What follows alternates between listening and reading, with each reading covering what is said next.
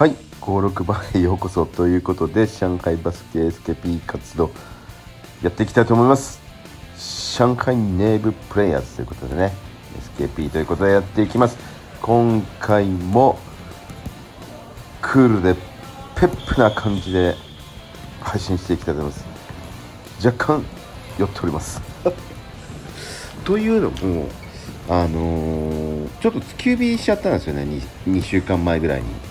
でまあ突き指今までも何回かあったんですけどまあまあまあ、あのー、右手の薬指なんですけどまあまあ曲がってんなと思ってであのー、この試合が終わった後あのサイゼリアであのランチミーティングしてたんですけどまあまあ曲がってねって言ったらいやいやいやいやそれはちょっとまずいでしょみたいなことを言ってくれて確かに突き指の割には曲がってんなとは思ってたんですけどさすがにちょっと僕もまずいかなと思ってで海外旅行保険あの更新したばっかりだったのもあってちょっと不安になってあの今日今日行ってみたんですよね病院に外科に。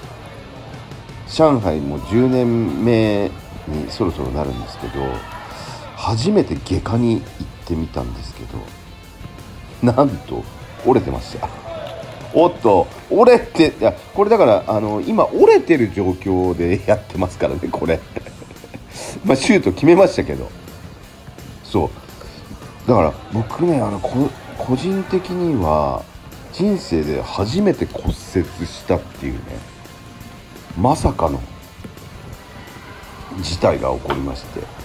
それであのー、選択を狭まれたんですけど、えーと、もももはや折れてると。でこのままだと、えっと、右手の薬指は曲がったままですよ。でも別に生活にそんなに支障はないですと。右手の薬指の第一関節なのね。そんなに支障はないけどあの美しくはないですよと。あのちょっと曲がっちゃう曲がっちゃうよって言われて。でえちなみにおいくら万円ですか？と聞いたところまあ3万元から4万元ぐらいって言われて。まあ3万元から4万元だからまあえー、っと今レートをちょっと見てないから分かんないですけど16元1元16元だとするとまあ50万から60万ぐらいするみたいな。であどうすんの？あの手術する？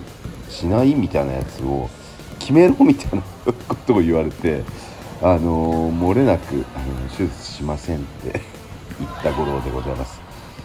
そんなことを言ってる間にいつの間にか経験者チーム4点取っているっていうね。いや早くね？みたいな。今回は、えー、バスケ未経験者チーム対経験者ということでねやっておりますけどももはやいつの間にか2対4ということでね、えー、今日も MC は五郎ともかちゃんでございます。もかちゃんももうお眠な感じですけども今日はジムハイボールを飲みながらの解説となっています。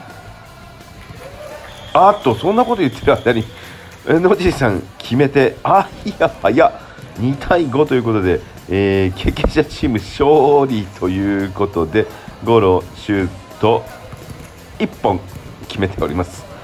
ということで応援よろしくお願いします。早っ。